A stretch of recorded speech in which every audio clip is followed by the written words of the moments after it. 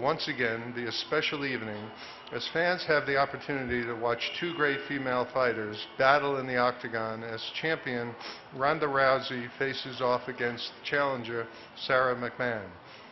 The UFC 170 event pro also promises to be a success as MGM Resorts and UFC are announcing today a partnership to bring unparalleled VIP experiences and offers to our M Life members. M Life, for those of you who aren't as familiar in our company's loyalty program, uh, rewards program, sorry. M Life will now provide our customers with knockout access to various UFC parties, meet and greets, discounts on merchandise, and more. Teaming with the UFC now combines the best MMA talent in the world with our iconic venues on the Las Vegas Strip. I'd like to extend a special thanks to Frank and Lorenzo Fertitta, Dana White, and the entire UFC staff. I'd also like to thank the team at the Nevada State Athletic Commission. And once again, I'd like to thank you for being here.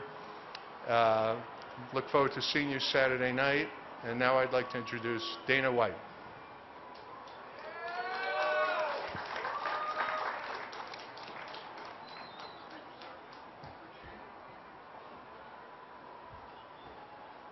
Good morning, everybody. How are you? What's up? Thanks for coming out. We appreciate it. Who's got the first question? Raise your hand. They'll bring you a microphone. Nobody has a question? There we go.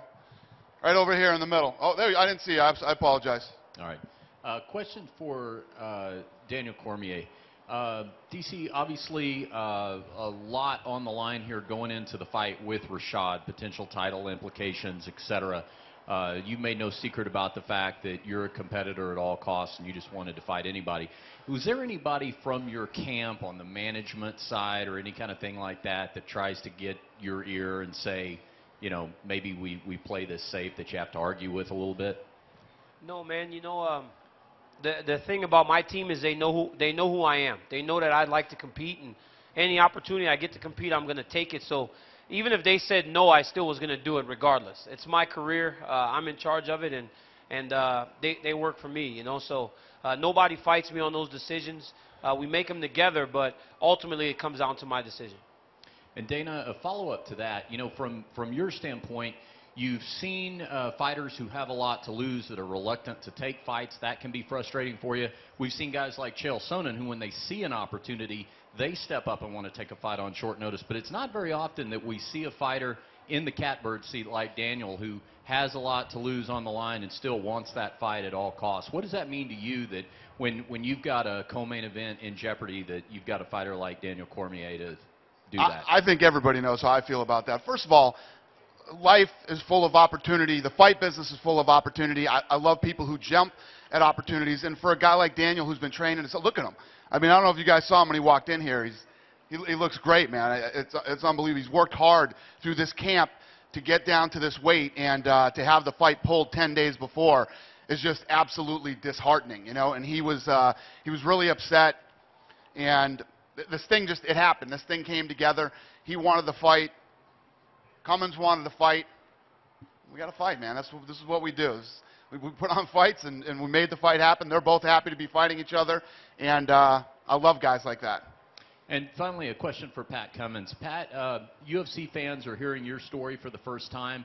Obviously, there's a lot of intrigue based on what you have to say about your past training with Daniel Cormier. Is this are these stories things that people close to you, friends, have heard for a long time that we're just now hearing because uh, maybe we haven't been exposed to you on a national stage. Is this something you've talked about for a long time as Daniel has, has rose to prominence? Um, no, you know, I'm, I'm not one to, to go, you know, bragging about myself very often, but, you know, this opportunity came up, and I, I'm willing to talk about it. Patrick, hold the microphone up. We can't hear you. Hey, sorry, man. It's my first time. but listen, i am going to, uh, I feel like we've gotten really close in, the, in this past week, so I'm not going to call you Daniel. I'm going to call you Dan. You okay with that? And I'm going to beat you up on Saturday. Are you okay with that? I'd love for you to come try. Man, I hate to break that up. Thanks, guys. Uh, Ron Kruck with Inside MMA. Uh, first question for Dana. Dana, uh, a huge opportunity for Patrick here. Um, can you talk a little bit about why you had to go outside the promotion to sign Patrick to get uh, Daniel a an opponent for this fight? Well, everybody, everybody has fights right now in, in, in that division, and, and he was freaking out. He wanted to fight, and this thing just sort of sort of happened. You know, these things happen organically sometimes. This one did. Um, the kid's undefeated. Um, you know, anybody you talk to in the business, I even had big wrestling guys, you know, text me saying, you know, th- th- this kid's legit. He's good. He was obviously good enough to help him get ready for the Olympics. Uh, you know, he- he's got great credentials. Daniel wanted the fight. He wanted the fight. So here we are. Very good. Did you offer anyone else in the UFC light heavyweight division the fight? No, there was no, there's nobody else Nobody. open. Yeah, there was nobody else. And, and, and, and you know, you'd have to be nuts to fight Daniel Cormier in 10 days' notice. Very true. Daniel, question for you. Uh, besides your love for Popeye's chicken, uh, how difficult has it been to make this cut, or what has been the most difficult part of this weight cut? You know what, man? It hasn't been that bad. I've uh, I've just kind of had to do things a little different. You know, throughout this, throughout my life, I grew up in Louisiana. There's red beans and rice and Popeyes on every corner. I didn't have salad in my entire life until this training camp. I'm 34 years old and I'd never touched a salad in my entire life. I had a few salads and and uh, I started losing weight. Plus, it's healthy food now, and I got somebody to help me uh, make my food and and just help me at all turns, man. You, you use your resources to make this as easy as possible. So it hasn't been that bad. But, um, you know, I was home for Thanksgiving, and, and, and my girlfriend actually made a big, huge salad. And all this food was on the table, fatty food. And at the end of the day, that salad had not been touched. That's the house I grew up in. Nice. Final question for you. Uh, you're in crunch time, 24 hours away. What are you weighing right now? How many more pounds do you have to shed? And how are you feeling? Um, I feel great. You know, I, I was able to train last night. I was grappling. Uh, this morning, I, I was uh, 209 pounds. So I'm only three pounds away from weight. And I'm going to make this thing easy because I want to compete at my best. I train hard, like Dana said. I beg for this fight.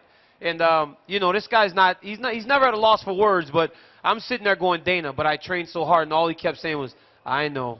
But I lost all this weight. I know. And if you, you know, this guy's never lost words, so he knew what it meant for me to get an opportunity to compete. So I'm making this weight easy so that I compete well on Saturday night. Heidi Fang, MMA Fight Corner. First question for you, Dana. Uh, what is on the line here with the welterweight picture with Rory MacDonald and Demian Maia's fight? Yeah, it's a big fight. Obviously, uh, you know, Rory was right there before his Robbie Lawler fight. Lawler's getting a shot at the title now. It's a big fight for these guys. It's, you know, every fight is a you're in a must-win situation, but for these guys right now and uh, where they sit in, in that division, it's a very important fight for them. And for you, Rory, being that this is the first time that George St. Pierre is actually not fighting anymore in the UFC, do you feel like you finally have emerged out of that shadow? And what do you feel that you have to prove? I never really felt like there was a shadow there. Um, it, it is less pressure, not having to respond to the question, am I going to fight him? When are you going to fight him? This and that. And so that whole thing is gone. So th- that that's a relief, but I'm I'm just doing my own thing, you know, uh, one fight at a time on my own on my own journey to the title. Uh, there was never a shadow cast upon me with George. And for you, Demian, uh, being that you are also coming off of a loss, what did you learn from that loss to Jake Shields, and what do you feel that you have to prove in the welterweight division? I learned a lot of things, you know, but I think the main one was like I get used to fight here in Vegas, in US, and for the first time in that fight I fought in my city, and I think it like unconscious. I, I I relax more than normally, and I like to fight here in Vegas because you know I I feel this is the city of the fight, and I feel like uh, the energy is different, you know. So I always won when I fought here, and I hope to keep winning uh, tomorrow, uh, Saturday. One last question for Daniel. Uh, not having Cain in this camp to train alongside of you, being that he's injured, how different was your camp in preparation? It was tougher, you know, because you can't really replace him. I mean, he's the best in the world, and he works harder than anybody uh, that, that's my size. But you know what, man? I, I used my other partners. I used Luke Rockhold, who's also very good. Uh, a lot of guys just in the gym, and I just mixed them up. Every day I sparred three different guys. I didn't spar one person. Uh, but you know what, man? Cain was around. You know, he was there to do my cardio with me, there to do my speed and agility drills with me, and and just there to hang out. You know, so uh, just having him in the gym was a was a good was a good. It was an added element to to, to him not you know being there at all. So uh, yeah, it was it was okay, but um, I was prepared. Uh, every training partner that I had could beat Patrick Cummins, so I think I should be okay. Thank you.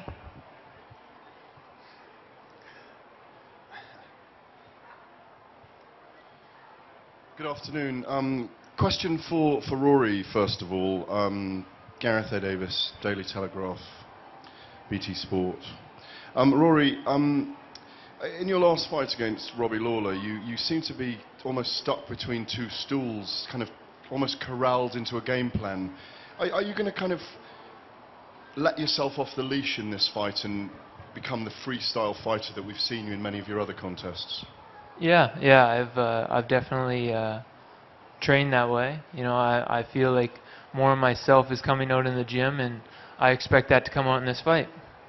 But did you feel that you were trapped in a, in a game plan in the last fight?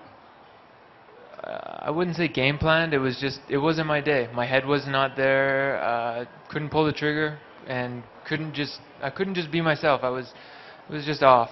It was not a good day. Uh, and a question from, from Miss Rousey.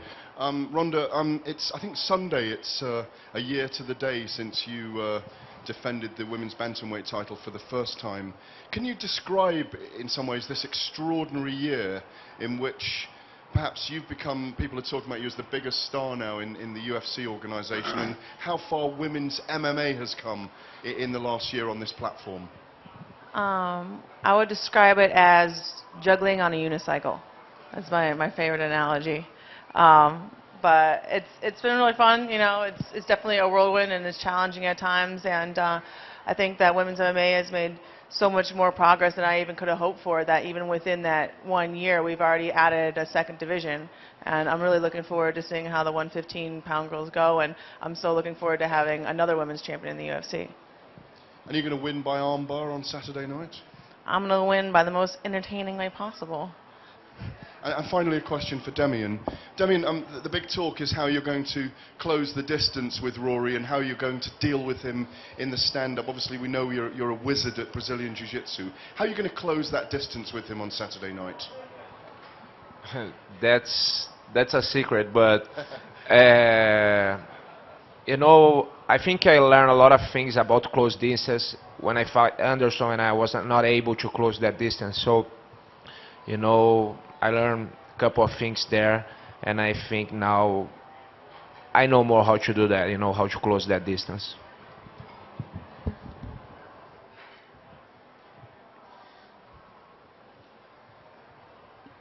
Uh, Connor Cordova, MMAweekly.com. Uh, my question is for Sara. Sara, when it comes down to your style of wrestling, do you feel that that will be enough to really stifle the judo of Ronda, or did you have to bring in somebody special to work on that sort of, judo style that's very unique to Miss Rousey in the UFC? Uh, for every training camp, I try to see if I can, you know, mimic the people that I'm fighting the best that I possibly can. So, you know, I had some of the people that I'm familiar with and some different people to, you know, get as close as a grasp as I can on my opponent. But, you know, you never really know until you get out there and you feel it yourself.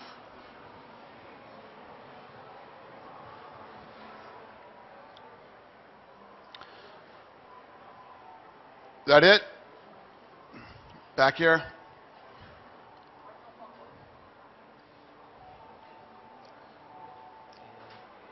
Hello. Uh, my question is for Ronda. Ronda, how hard was your training for this fight? Um, well, I, I almost feel like I had two training camps in a row for this fight, and uh, I think this definitely was the best camp that I've ever had. The last fight, I I started in shape, but I wasn't really in fighting shape. I went 10 weeks without really being in my gym or sparring or anything, and uh, the beginning camp was spent getting in shape, and I had some obstacles with you know injuries and being sick, and um, by the end of it, I was in the best shape of my life. We did pull it together, but it was a struggle in the beginning. Whereas this camp, I started in the best shape of my life. And um, uh, the best performances I've ever had just historically have always been when I had the fastest turnaround, and I never got out of shape. I started in shape, and I didn't have to spend time regaining lost ground. I spent all my time improving, and I really feel like I'm going to have the best performance of my entire career, and it always has a lot to do with my competition. I, I fight better when I have a higher level of competition. I mean, it's the same way with my sparring and everything. And um, you know, I, I think that also comes with being an Olympic athlete. You're you're raised to rise to the occasion and fight above yourself when it counts. And I know that Sara is exactly the competition that I've been waiting for to show that what I'm really capable of. Fans want to ask any questions? Nobody wants to ask any questions today? Thought this was a press conference. This guy in the, the white shirt, yeah. Don't ask tickets. No, ask a question. I, I don't want tickets, but but I do want to know if I could join you on stage tomorrow for the weigh-ins. I knew I knew it was going to be something. Is that cool? Do you have any questions for the fighters up here? Sara, you think your wrestling is good enough to beat her on judo? Yes. There you go. And yes, you can come up on stage with me tomorrow. All right. Any questions from the media? Yes, Dana. Yeah. Uh, I have a follow-up question here. I was wondering if you could update us on the exact injury of Rashad Evans. Of what? Uh, Rashad Evans' knee Uh, injury. yeah, he's got to have surgery. Right. Do you know exactly what's wrong with his knee? I don't. Whether it's ACL, MCL? Okay. I don't Thank know. you. Go ahead. Right here. You got it. Go, Connor. You can go first. Uh, Daniel, when it comes down to it, we all know this fight has gotten incredibly personal for you. At what point do you have to really put your emotions aside to be in the best mental headspace possible, or do you, do you feel that you're really going to fight better because this has gotten personal? Um, you know, uh, the thing is, I can, I can, Pat and I can fight all week and argue all week, but when we step into the cage, I have to be a professional. Um, that's something I've never uh, strayed away from in my whole entire career. I'm going to fight the way I fight, regardless of uh, if uh, if I'm mad at Patrick or if I'm happy with Patrick. It doesn't matter. I'm still going to fight the same way. You ever wonder why street fights last 10, 15 seconds? Guys are fighting with pure emotion. They can't go any longer. You get tired. So I'm going to be a professional, uh, and I'm going to I'm going to go into the cage and do what I've done every single time I've ever fought in my entire career, uh, and that's uh, get my hand raised. Go ahead. Um, this is for both Sara and Ronda. Since we're sort of in the throes of Olympic fever, even though you guys didn't compete in the Winter Olympics, I'm wondering if you've been watching the Olympics, and if so, does that bring back any sort of memories? Is that motivational for you to remember what you accomplished, or the fact that you didn't accomplish what you set out to do? And does that play into today in, in, in any way, shape, or form? Uh, I don't really feel like that. Um, I, the winter sports has always been so separate from what I do that I really can just watch it and, you know, just be in awe of the, you know, like the figure skating and the different competitions because it's so different from what I've done that really I just like look at the skills and appreciate it. Uh, I actually, I wish I could have watched a lot of this Olympics, but I've been so focused on camp, I haven't really uh, watched anything at all. And uh, it, it, seems that I always have a fight exactly the time of the Olympics. I wanted to go to the London one to, to watch, and I had to fight like right on the day of closing ceremonies, you know. And it's just, uh, it seems to be playing out that way. And uh, I, I do miss that feeling of I'll, I've never really had that feeling of being a spectator. I mean, since I was a little kid, and so the next Olympics, I'm I'm hoping that I can take full advantage and actually be there myself and get the real experience. You know. This question is for Ronda. Uh, Ronda, a lot of times when we see a grappler versus grappler, I'm over here. Hi. It's very nice to meet you. Um, when we see grappler versus grappler in mixed martial arts, we'll see what ends up being a stand-up fight. Sara's been so dominant in grappling her previous opponents. How do you prepare for the unknown of Sara McMann's stand-up? Uh, well, I'm prepared in every single area, and uh, she has certain tendencies that we're aware of and that I'm ready to take advantage of. And then I also spend a lot of time just covering my own holes and you know improving myself. I mean, uh, everybody kind of forgets that I won the world title a year after my pro debut.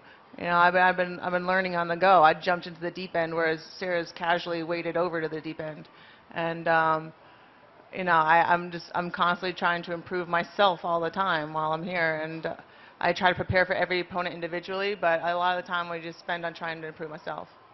And I have one for Daniel Cormier. Daniel, did you find the transition from Rashad Evans to Patrick Cummins much easier based on what Patrick had to say? Because obviously you were facing one of the greatest fighters of all time in Rashad Evans. Now you're facing an up-and-comer with an undefeated record. How do you stay up for that fight, or has it just been based on what Patrick said?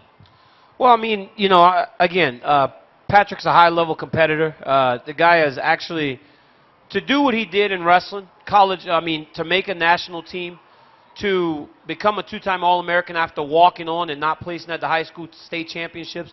That's a big deal. That doesn't happen very often. So I know the guy can compete.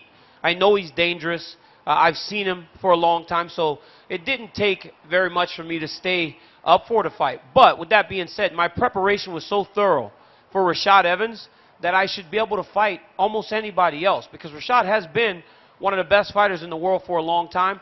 He's been the standard for a wrestler boxer in UFC for a long time, and and uh, if Pat's the guy that wrestles and boxes, I prepared for the guy that has done that better than anyone else for a long time. So I'm up for the fight because I respect the guy. Um, he annoys me, but I respect him, and uh, I can't wait to compete ag- or fight against him. Ronda, I'm kind of hidden by the podium, but you have so much going on in your life right now between uh, the UFC and signing movie deals in Hollywood. Can you talk about how you're balancing both careers, and is there a worry that you might lose your edge in the octagon because your schedule is so busy?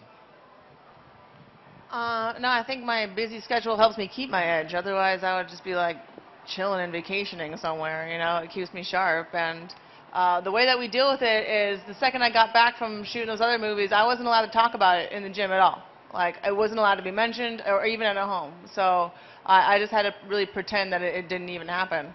And um, yeah, that's pretty much what we're doing doing for for this camp. You know, all this stuff came up, and um, my representation was very considerate with taking care of everything for me. And I only had to have one meeting, and that was all. That was it. So um, I only spent, you know, 45 minutes of my time in the last six weeks dealing with Hollywood stuff, and every other minute has been entirely focused on this fight. It doesn't exist to me at all until this fight's over and I've won. Dana. Dana over here. Uh, Right here. Your uh, left. Your right, I mean. Your right. Right here in the front row. Hey. Sorry. What part of that story with Pat is so interesting to you? The, uh, I mean, you made the call, the, uh, the I made him cry, or the, the, the coffee shop. Just that whole story seems so interesting from really a nobody to a UFC multi-fight contract. What? Yeah, no, the you, whole what makes it interesting? The whole story is fascinating. I woke up, I was driving to the office in the morning, and uh, you know, I started hearing about this. They were going at it on Twitter, and uh, I, I, I heard about Cummins and, and you know who he is, what he had done, and what he had said about uh, about Cormier. So I got his uh, I got his manager on the phone, and he literally said, uh, you know, I said, does this kid want this fight? He literally had to drive to the coffee shop he was working at to uh, to see if he wanted the fight. His manager would not let him talk on the phone because he was working, and he went around to the drive-through, handed him the phone, and while I was talking to him about the fight, he got fired. They fired him, and uh, he said, I hope I get this fight because they're firing me for talking on the phone. So it's a very unique, interesting story, and, and uh, I think the whole thing is cool. Went from you know went from a guy, and, and that's that's no different than any. Um, I don't care what you if, if you're in Hollywood trying to be an actor, you're waiting tables in the daytime. You know, a lot of people have to do things to, to put food on the table to, to you know uh, to reach your goals, and it, you know he, he was doing it, and, and it all just sort of worked out.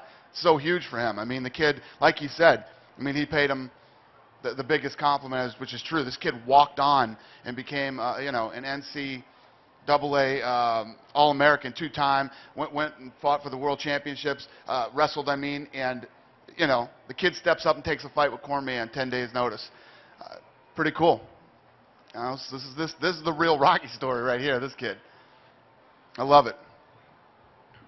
Building off that story, a question for Patrick Cummins. And Patrick, I mean, hearing Dana retell that story, you know, emotionally, describe your feelings. I mean, is this a surreal experience for you right now? Yeah, th- this is definitely a surreal experience, but it, it's something that I've, you know, I've been working towards for for, for uh, four years now. And you know, the, the, I think what some people overlook is, yeah, this guy was just working in a coffee shop and they pulled him off the street and now he's fighting. You know, I, I got my, my, my job at 3.30 in the morning to 9.30 in the morning so I could make it to train at 10 o'clock and then I could take a nap, do whatever I had to do, and train again at night. All, all for this, all for you know this dream of, of making it here and, and coming and competing with the best guys and, and beating them. So, so um, you know, it's just it's great that the first part of my dream is realized, and now now I'm ready to go realize the second. Do you have a message for uh, your old boss at the coffee shop? No, you know, there, there, there's no hard feelings there. Um, you know, I, underst- I understand what they're doing, but um, like I said, I, I was I was at the end of my rope. Um, didn't you know? I, I didn't. I couldn't pay the bills, and and this is the only job that that fit my schedule where I needed to do. So they helped me out. You know, I, I for about a month they they gave me a job, and I'm grateful for that. Otherwise, you know, I, I wouldn't be here. I'd probably be I'd be on the street somewhere. So a serious question, just to follow that up. You're four and zero. You've been at this for four years. Why have you not been more active? Um, you know that that's a story in itself. We've been we've been searching for fights for a long, long time, and it just it seems like nobody wanted to step up. We've had about 40, 50 fights um, fall through on us, and um, You know what, too? What, to, to add to that, when I called when I called uh, Cormier's team, you know, Bob Cook said to me, you know, nobody wants to fight that guy in the in the smaller shows. Nobody wants to fight him. Um, so I found that interesting that, you know, Cormier's team was saying that. Patrick, this question's for you, and it's a follow up a little bit right here. Where we come from? Follow up a little bit on what Ron asked, but uh, Daniel's been pretty heavy on the "you're not going to be ready for this" rhetoric. You know what I mean? It's all going to be too much. Well, yesterday was media day. Today's the press conference. How do you feel? I don't know. You guys tell me. How am I doing? I feel like I'm doing okay. Right? I, I mean, this is this is no different than you know getting up and, and competing. You know, at, at, the level that I've competed in in wrestling, and you know, I, I competed in Strikeforce, a big show in Strikeforce, and you know, I I feel like I've been there, and I'm I'm ready to step right in. Dana, over Yep. here. Yep. To your left. Hey. Um, so Cormier was minus 1300. I think he's moved to minus 18, 1900. You betting? Cummins is uh, 920. Well, I know Fox Sports, UFC is big on the betting odds. Would you say this is, if Cummins were to beat Cormier, um, how would that rank in terms of the biggest upsets, combat sports history? You know, Mike Tyson, Buster Douglas was a 42 to one underdog. Yeah, that one that one's still probably the biggest. Yeah, Yeah. but where would you put But in this? MMA, it'd still be hard to beat Serra and George St. Pierre. Would you say Serra would still be a bigger upset? Probably. You know, St. Pierre was, huh? Eight to one. Yeah. Still, big upset. You know, came off uh, came off that season of the uh, the com- the comeback or whatever the hell we called that season, the Ultimate Fighter, and uh, and knocked out George St. Pierre in the first round. Still, I think that was still the biggest upset I've ever seen in, in MMA. Question for Dana. Uh, over here, Dana, in the front. Um, to what extent um, have you found, as a promoter for this event, that having your headliners both being Olympic medalists um, has enabled you to reach out further into the mainstream in terms of the coverage of the event and the kind of conveyor belt of publicity, if you like? I don't know. You know, I, I think the. Fa- I mean, we've all seen. She gets she gets publicity that nobody gets. She gets uh, um, TV shows and, and, and write-ups that none of the other fighters get. Um, I, so I, I think that there's a lot of unique things. Obviously, you know, I mean, if you look at this fight again, this is the second time since, uh, since the women have been here that the, that women are headlining an event. Um, you know, I think her gate in in, in um, in uh, Southern Cal that time was was a 1.3 million dollar gate. She's going to do a 2. Point, uh, 2.1 two million dollar gate this time. Um, if you look at and I know the guy who said he'd never do women in the UFC. Uh, look at it. Look at look at where it is. Look how big it is. And and uh, every time uh, every time we we we, uh, we have women on the card, they, they usually win fight of the night or they're one of the most exciting fights of the night. And and I'm blown away by how big it is and, and how much bigger it's going to get. But, but what, what I'm asking is, do, do you Are we getting any other stories because of the Olympics? I have no clue. It would make sense, but I don't know if I don't know. I don't go on the internet, so I didn't read anything. Anybody else? We done? Thank you guys very much for coming out today. We appreciate it. Thank you to the fans. Um, we're going to get this stuff out of here, and I'll square these guys off for photo ops.